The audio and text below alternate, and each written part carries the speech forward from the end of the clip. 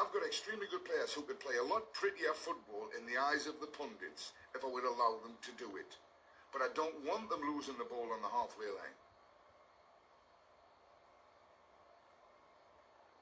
I don't want I don't want all the the intricacies of, of, of what people think the game should be out be about.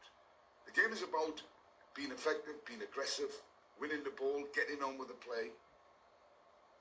And, and within that, if you can put a bit of skill in when it's necessary and in the right place, then put it in.